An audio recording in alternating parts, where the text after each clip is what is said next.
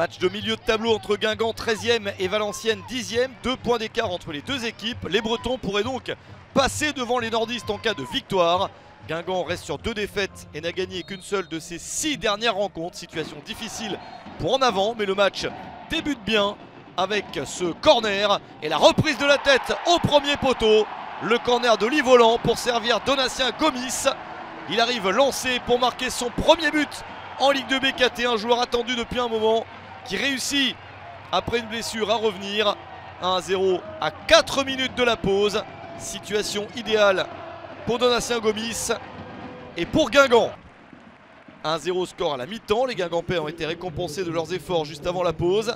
Et Valenciennes s'est fait surprendre. Des nordistes qui restent sur une victoire après 4 nuls et 5 défaites. Ils se sont un peu rassurés, mais veulent ne pas retomber dans leur travers. L'entraîneur change deux joueurs. Piccolo et Haïté remplacent Innocenti et Hamache pour Valenciennes. Mais ça ne change pas grand-chose car Guingamp continue à avoir un bel enthousiasme et à se procurer des opportunités. Voici le but du 2 à 0 à l'heure de jeu. Baptiste Guillaume, ancien joueur de Valenciennes, ne célèbre pas totalement son but. C'est son troisième de la saison. Une reprise à bout portant qui permet à son équipe de mener 2 à 0 à une demi-heure de la fin. Situation favorable pour les Guingampais.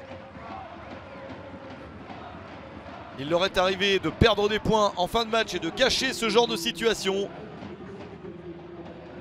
Et dans la suite du match, ils se font d'ailleurs un petit peu peur car ils reculent et Valenciennes arrive à s'approcher du but adverse. Un corner pour les visiteurs.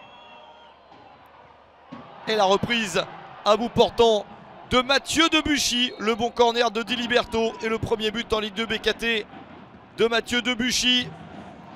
Il n'y a plus que 2 buts à 1 à la 66e minute.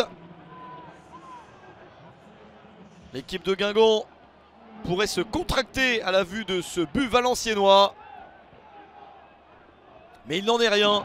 Cette fois-ci, les Guingampais réussissent à reprendre les devants, à continuer à jouer et se montrer en attaque. Le centre au deuxième poteau et un centre en retrait. Un bon jeu de passe. Le ballon termine sur Mouyumba. C'est sauvé sur la ligne. Énorme possibilité de mettre un terme au suspense. Les Valenciennois ont tenu. Ils s'offrent un but de deux partout. Mais Basilio est sur le coup. C'était l'une des ultimes chances pour Valenciennes avec l'une des recrues du mercato hivernal, Karbic.